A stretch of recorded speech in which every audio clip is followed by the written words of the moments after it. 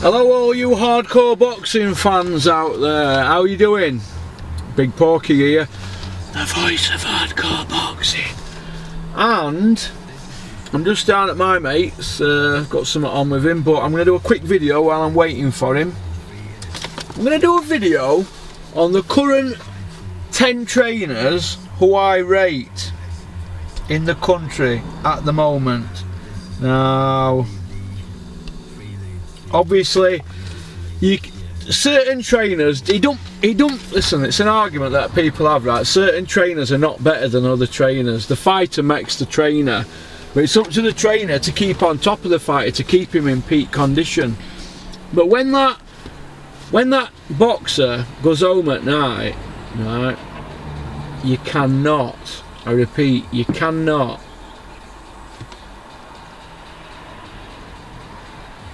see what he's eating or what he's doing, if he's partying or if he's shoving cocaine up his nose or if he's got bitches on go or if he's going out getting pissed up or if he's creeping down to the fridge at middle at night and uh, and having a bite of a chocolate muffin like Carl Froch used to do. He said I'd do that and then I'd see it in my stomach. He says or I'd feel that I'd done something wrong. He said you train a bit harder the next day but sometimes your body just needs that bit of sugar in it doesn't it but going off track here.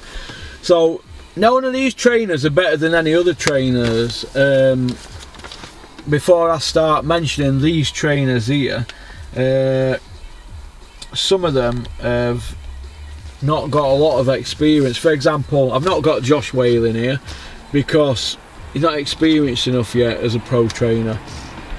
I've not got Richard Towers in here yet because he's not trained anybody in a fight yet, so you can't put them in. But these are the top 10 trainers in the country at the moment that I rate. At the moment.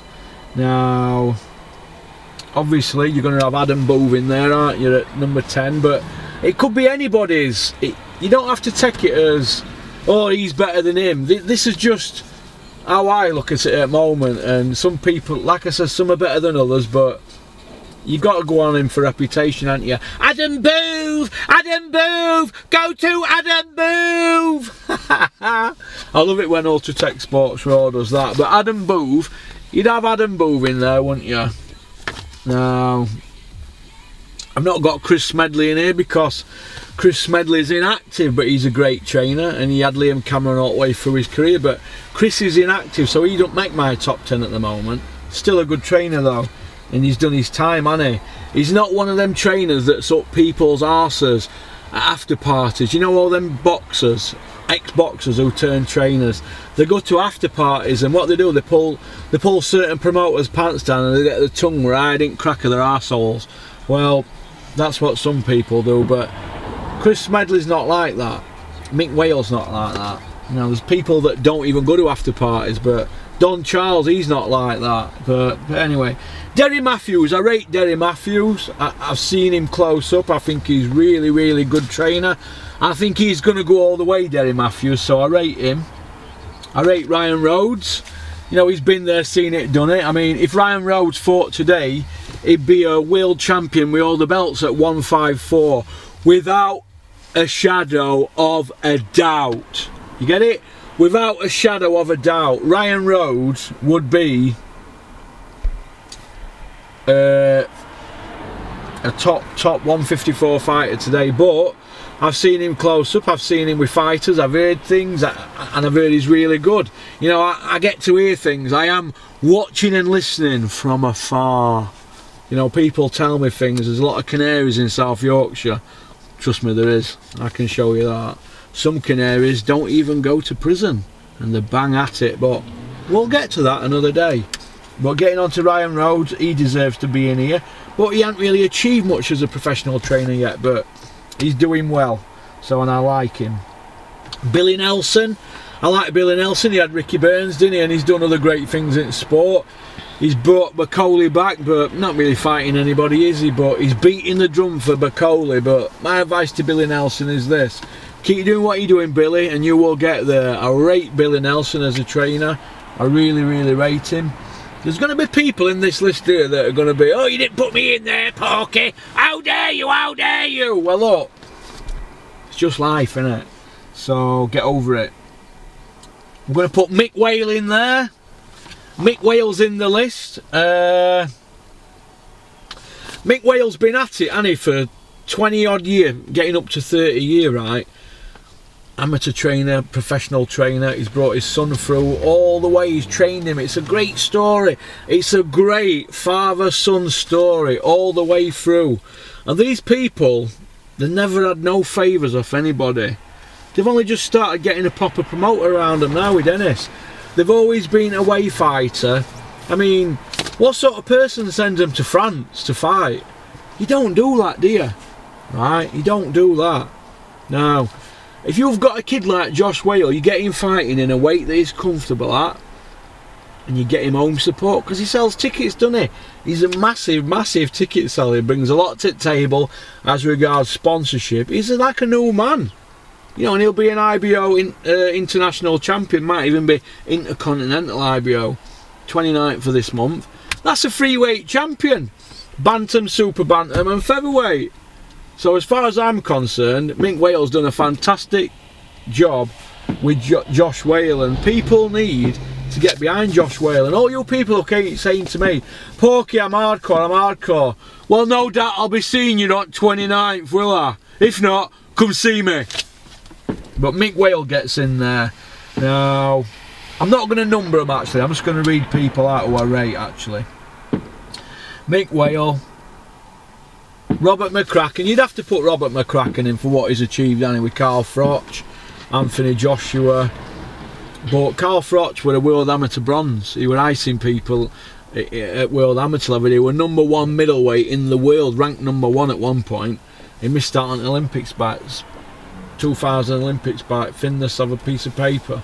He were robbed. Should have gone to Olympics. He would have won gold that year. But let me tell you this, Robert McCracken yeah, he had it on a plate with him, and he with. Uh, oh, two seconds.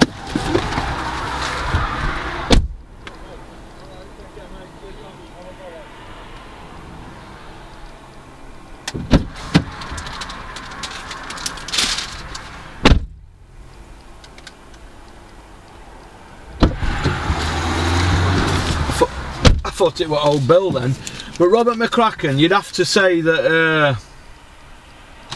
Robert McCracken de deserves to be in there for what he's done.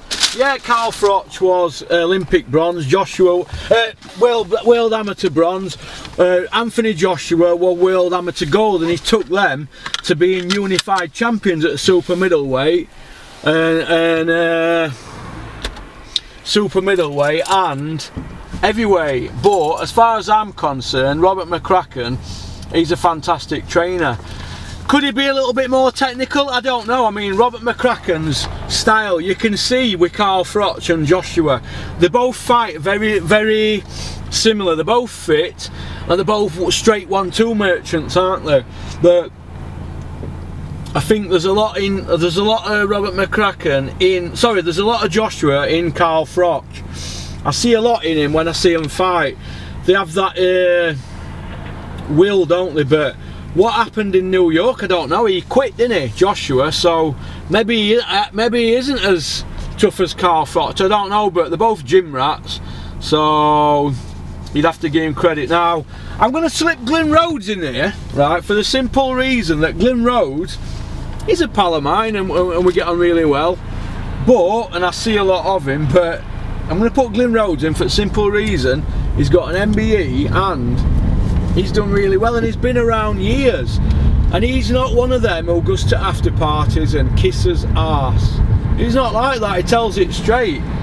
Now there's there's not enough people like that in boxing as far as I'm concerned. There's too many arse kissers. There's too many people kissing people's arses because they've got nowhere else to go. For example you know when Eddie Hearn's done with Dave Coldwell where's he gonna go? you can't go work with Frank Warren, can you, Dave? hey? You can't work with Frank Warren, and you don't even ring Dennis, dare you, Dave? So, if Nicola were with me now, she'd cut that out, but Pork is his own man now. So, but no, Glyn Road, you've got to put him in there. Sheedy, Tommy Frank, and like I said, nobody's done Glyn Rhodes any favours whatsoever. Boxing's his life. Nobody has done him any favours at all. But uh, Peter Fury, you're going to put Peter Fury in there, yeah. He's got Savannah Marshall, she's she's unbeaten, but he's got Hughie. Hughie's just been beat, but it's Povetkin, isn't it? And Hughie's still only a kid, isn't it? Just turned 25. I'd have to put Peter Fury in there, wouldn't you, on past achievements. So, Peter Fury's in there. Uh, Mark Tibbs. You put Mark Tibbs in there, won't you? He's gone 10 0 with Dillian Whyte. Since Joshua beat Dillian Whyte, Mark Tibbs has turned his life around. Uh, Dillian's on it. He's got him on pay per view. I mean, it's only through his wins he's got on pay per view, and He's kept him winning, he's kept him motivated, and Mark Tibbs comes from that royalty family, boxing royalty family, where they've got a good name in boxing. The proper, proper people, as Dennis says and he's fetched up around it, isn't he? I mean, what what are you, 22 and 2 fighter? So it's not like he don't know what he's on with, does he? Is it? So, but other than that, I rate Mark Tibbs as a trainer, and everybody knows that I rate Shane McGuigan, and this is why I've left him till last. I'm going to say out of all these lot here, and don't take this the wrong way, all the other guys who are in the list, because if we want to talk achievements and that and and, and, and at a young age I've got to say that Shane McGuigan is probably the most decorated trainer not just in UK boxing but in world boxing. Shane McGuigan is probably the best young trainer out there at the moment. At the moment. But that's boxing for you isn't it but uh, so that's boxing for you, but it is what it is, isn't it? I've just had car uh, serviced. I've had some of that. Is it synthetic or whatever they call it? That very expensive oil put in it. If you look after your engine, it'll look after you, won't it? So I'm gonna I'm gonna give it some up motorway now. I'm Not too fast though. Not too fast. Don't want to go too quick, do we? So all you gimps out there, don't forget to send this in tip, please. I've already had them getting in touch with me. but remember, when they get in touch with you, they've got to know car registration, time and when. so all you, all you junior junior G men out there, are you ready? Are you ready? Here we go. Oh, too much traffic.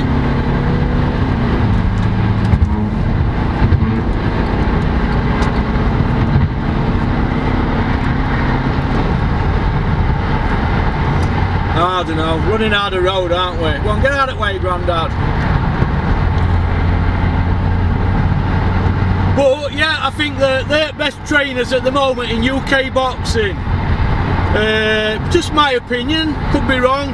Because of other people you could add in that, Dominic Ingle, fantastic at getting guys down to uh, the weight. He's probably a nutrition expert, in it, Dominic Ingle? But this is how I look at it. What sort of trainer puts puts a welterweight in with a killer like Golovkin, two weight divisions up? What sort of trainer does that? What sort of person does that, eh? So as far as I'm concerned, he don't get in my top 10. So, it is what it is, isn't it? So,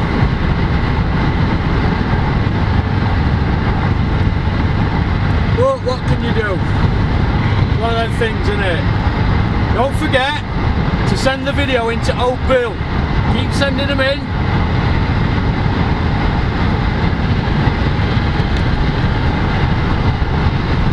Uh, one of them things, isn't it?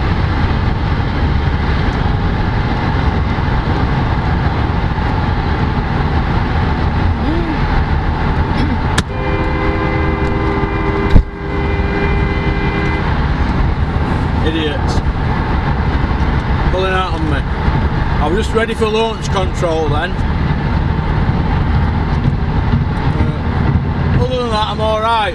But like I've just said there, I think they're the top trainers in the country. So, at the moment, they all seem to be doing good. And you can't fault people that are doing good in life, can you? Alright? So, peace out, keep on trucking, keep supporting boxing.